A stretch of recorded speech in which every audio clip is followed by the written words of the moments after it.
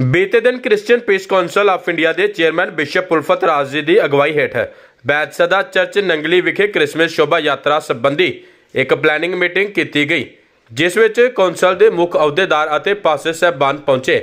ਜਿਸ ਤੋਂ ਬਾਅਦ ਕ੍ਰਾਈਸਟ ਪੀਪਲ ਟੀਵੀ ਦੇ ਪੱਤਰਕਾਰ ਅਮਨਦੀਪ ਨਾਲ ਗੱਲਬਾਤ ਕਰਦਿਆਂ ਬਿਸ਼ਪ ਪੁਲਫਤ ਰਾਜ ਜੀ ਨੇ ਦੱਸਿਆ ਕਿ ਹਰ ਸਾਲ ਦੀ ਤਰ੍ਹਾਂ ਇਸ ਸਾਲ ਵੀ ਕ੍ਰਿਸਮਸ ਸੰਬੰਧੀ 13 ਦਸੰਬਰ ਨੂੰ ਵਿਸ਼ਾਲ ਸ਼ੋਭਾ ਯਾਤਰਾ ਸੈਂਟ ਪੌਲ ਚਰਚ ਤੋਂ ਕੱਢੀ ਜਾਵੇਗੀ।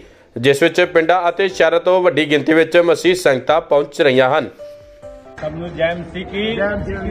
ਪ੍ਰਭੂ ਯਿਸੂ ਮਸੀਹ ਦੇ ਜਨਮ ਦਿਨ ਦੇ ਉੱਪਰ ਸਭ ਨੂੰ ਸੱਚਾ ਦਿੱਤਾ ਜਾਂਦਾ ਹੈ ਵੀ ਅੰਮ੍ਰਿਤਸਰ ਦੇ ਵਿੱਚ ਚਰਚ ਸੰਤ ਪੌਲ ਦੇ ਵਿੱਚ ਬੜੀ ਜ਼ੋਰ ਸ਼ੋਰ ਦੇ ਨਾਲ ਇਸ ਸ਼ੋਭਾ ਯਾਤਰਾ ਨੂੰ ਕਾਮਯਾਬ ਕਰੀਏ।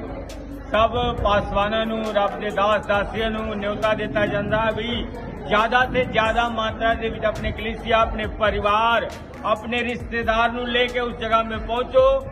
ਔਰ ਇਸ ਸ਼ੋਭਾ ਯਾਤਰਾ ਨੂੰ ਕਾਮਯਾਬ ਕਰੋ। ਯਿਸੂ ਮਸੀਹ ਦੇ ਨਾਮ ਦੇ ਵਿੱਚ ਸਭ ਜੈਮ ਸੀ ਜੀ ਧੰਨਵਾਦ।